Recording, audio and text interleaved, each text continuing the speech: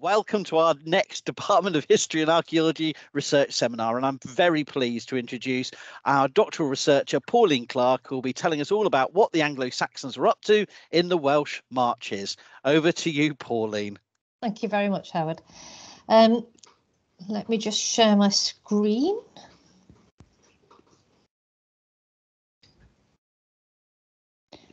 Can you now see my screen and hear me okay? That's right. Good. Okay. Um, thank you very much for the opportunity to do this today. I think um, a very quick introduction. I've been around at Chester for quite a long time now. I've done consecutively my BA, MA, and now I'm uh, in the middle of my PhD here. Um, and I'm looking at the early medieval period, which is kind of also known as the Dark Ages, erroneously. I'm going to try and get in as many um, phrases that Howard hates as I possibly can in this quarter of an hour or so. Um, and when you read around this period, there are kind of three three main themes that emerge. You get um, what was the continuity oh, after the Romans largely withdrew um, in sort of AD 410 ish, and how difficult it is to see this period in the archaeological record because um, the period was aceramic, and also a lot of the buildings um, sort of reverted, if that's the right phrase, to wooden buildings, and they're quite difficult to see. And um, the main sort of source of of, uh, of information comes from cemeteries, which tend to dominate in the in the uh, east of the country, and there are reasons for that. Um, there's more development over in that side. The soil conditions are more favourable to cemeteries, and, the, and what happens is that you you get this um, perception that there's nothing at all um, over on our side in the west. And this is Audrey Meaney's Gazetteer of Cemeteries in that was published in 64. And even um, even though it's quite old, it still sort of largely forms the basis of, of how people think about distribution of Anglo-Saxon um, culture in the country, in that, you know, it's very heavily weighted to the east coast and nothing happened over here. And it, you know, Meaney published that in 64, but you still get this a lot now when people are analysing patterns of artefact um, distribution. So these two maps are from different papers that have been published in the 2000s. And as you can see in the one on the, the left, um, you know, the March area is completely excluded and the concentration is very much sort of Nottingham, Northamptonshire eastwards. That's distribution of uh, Winchester style metalwork and um, the other one is distribution of uh, early cruciform brooches. And again, there is a little a little bit in the, in our area, but most of it is is over on the far coast. And uh, you know, you have to be wary that most a lot of these maps are trying trying to make a point about things. But even so, um, it's quite depressing the number of times you read um, about distribution and it says, "Oh, it doesn't happen in in the west at all." But this can't really be the case because there was a lot going on here, and um, in, a, a, lot has been documented and is, is verified. So uh, the Battle of Maserfield, which is thought to have been a location by Oswestry, took place in 641. That was um, the, the Britons against the incoming Anglo-Saxon forces. Um, much of Wenlock Abbey in Shropshire was founded by an Anglo-Saxon nun by 680 AD. Offa's Dyke, of course, was built in the middle of the 8th century. And there are other, you know, other instances that we can quote. And then later on, Chester, Bridgnorth, um, and there's another location as well, which I can't bring to mind at the moment, were all um, burhs by the early 10th century. And th- the fact, really, that Offa's Dyke was built um, in the middle of this period after only a couple of centuries of of Anglo-Saxon culture and, and occupation, if that's what you want to call it, um, means that the, the, the, formation of the border was a, a border of some sort was starting to become um, a feature of the time. So the study area I'm looking at is quite a, a big area. Um, you've got the counties immediately either side of the modern Welsh border, plus some of the county of Gloucestershire. Gloucestershire's um, a bit of a strange county. There's a lot of attested activity in the Cotswold area and further east. Um, so I'm only looking at the area immediately adjacent to the border, which doesn't have quite as much um, activity there. And it's characterised generally by high ground, um, getting higher as you move further west, and overall a low population. And this low population is a function of not much commercial um, archaeology activity because the development isn't as um, intense as it is in some other parts of the country. Portable Antiquity Scheme, uh, you all know about. I see Amanda's here today. She'll be bored stiff by this already. Um, it's it for my purposes. It's a way of recording stray finds are uncovered by metal detectorists, field walkers, casual um, observers who just pick something up in a field. And it's a, a, database that can be accessed by anybody in the country at all and used by anybody. It's recorded 1.5 million objects plus now. Um, unfortunately, because of the nature of the beast, it is mainly metals and mainly copper alloy, lead, gold, and silver, which introduces its own bias. And we know about detectorists and all the problems there are with um, differential reporting, not reporting at all. Um, it's also carried out mainly on cultivated land, um, ploughed land, which again we don't have as much of in this part of the country. But it, you know, overall, it's adding data to an area where maybe we wouldn't have any um, were it not for this. But we still have a problem. I'm kind of in awe of people who have thousands of, of artifacts to look at, because if you look at the records for the early medieval period for the counties in the east of the area, there are vastly more numbers than there are in our area. But you know, 579 for the for the marches is significant. Um, there's very little reported, uh, you know, from archaeological finds. So this is this is good data, even though it's a little bit sparse. So what I'm trying to do is establish the distribution and the spread of Anglo-Saxon and Scandinavian cultures as they came into the as they came into the country and moved through the period of the early Middle Ages, and um, the database helpfully defines early, middle, and uh, early, middle, and late periods, um, so that we can look at this by in a, in a, temporal distribution as well. And the other thing I want to look at is um, productive sites. And I know that Anglo-Saxon and Viking are contentious terms, but to be honest, until somebody comes up with something better, for the cultures that we're looking at, I'm going to stick with them. Um, I, you need to say Anglo-Saxon to distinguish it from Irish culture or British or so uh, I don't mean it as a peoples I mean it as as a an art style or a culture really typical artifacts that tell us something about um, the people the items on the um, left hand side are sleeve clasps unique to early Anglo-Saxon uh, culture used for a limited amount of time, found predominantly in graves, and not thought to be a feature at all of the east of the country. But actually, if you look at the distribution, there are five sets here. Again, not big numbers, but enough to say that they're not um, completely excluded from this area.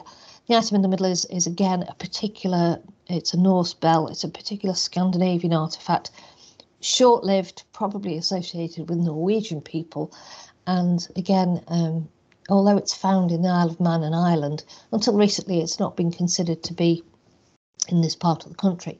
And then the item on the right is uh, a, a, a, an introduction. The Vikings introduced uh, metal stirrups, and this is a decoration for a metal stirrup. So all of these things can tell us something about the time that, that these ideas were arriving in the marches and um, what was happening to them.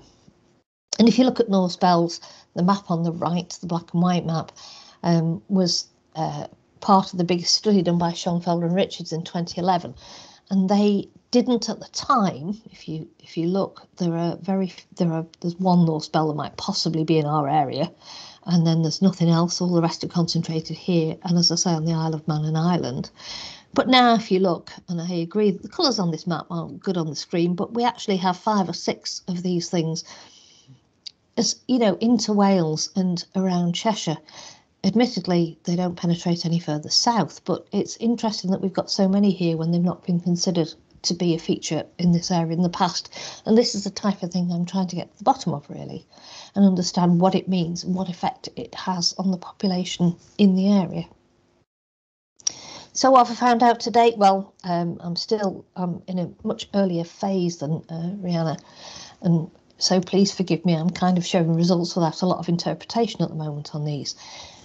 But this is um, an early um, map that I've produced that shows artifacts by their temporal distribution, so early, middle, and late. And again, it, there are a number of features on there that I'm going to look at in some more detail, but you have the expected concentration in the south and probably in the north because we already know that the Vikings, for example, um, were settled on the Wirral. So it's no surprise to find later items in the north and the south. But in the middle, there's a lot of early items coming very, very far west, much more westerly than we would have expected. And this is um, this is quite a surprise, really, and obviously means that there was more happening earlier than was previously you know thought if you think about Llangorse uh, Crannog which is in this area here that was um, 9th century. It you know it's after all this early activity. So something is happening and it's it's important to, to find out what to understand what really. Um, there are a few features here um, Shropshire uh, strangely has um, less British place names surviving than Staffordshire does, which is further um, east.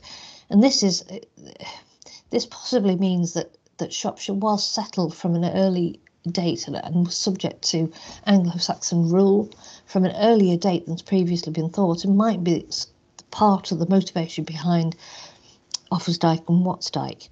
Um, it's a shame that it's a shame we have hills in this area because that means that we're missing out on, on, some opportunities for metal detecting. It would be nice to know how far over this penetrated, but you know even this is is quite exciting at this point.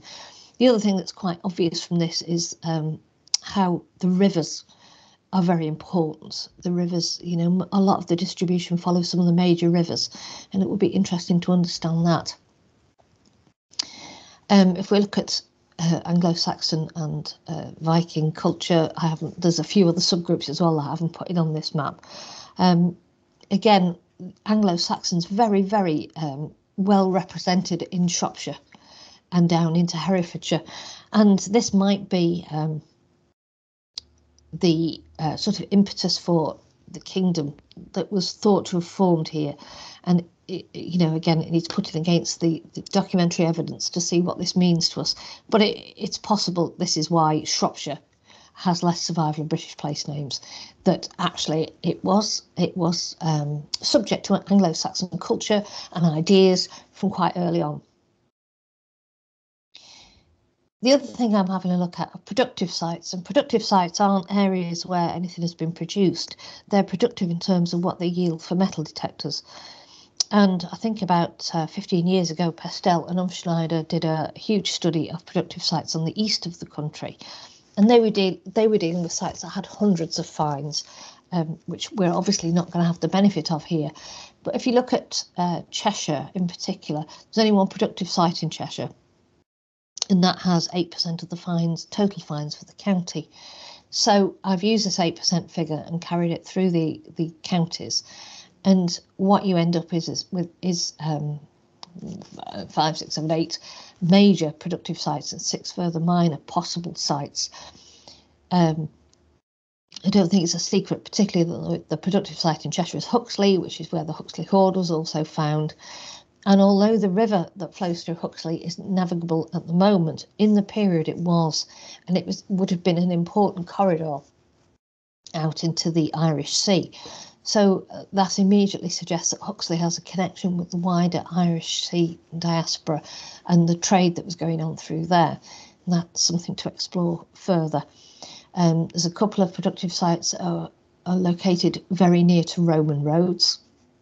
Roman roads um, continue to be important um, arteries of communication at the time. So it's interesting to look at what the developments are around those areas that tie in with the Roman roads and what was happening um, that drew people to those areas. There is um, one probable cemetery. Um, one of the most interesting finds from that area is actually a piece of pottery that is uh, obviously an, a cremation urn from the period, and then there are finds associated with it. So was that near to a settlement? Can we identify the settlement? Um, can we identify the political um, allegiances that the, the, the, of the people who were buried in the cemetery? Um, there are I say five or six sites in Herefordshire because two are very, very close together. They're within, within a kilometre. But what's really interesting is, although one looks like a, a probable market site um, and could possibly be associated with a major religious house that's not too far away, and that's a feature of some of the market sites because the monks um, sold off their surplus and also produced items for sale to pilgrims. So it's quite, they're quite often associated with monastic sites. The other site that's adjacent to it, though, has a completely different characteristic and looks like something else was going on there. So it might be that over a period of, of a couple of centuries, this particular site maintained its importance, but its function shifted. So that's going to be really interesting to look at as well. And um, as I say, a lot of the sites are associated with the major rivers. There's also a couple of interesting um, pattern distribution patterns that might look like um, ancient routeways.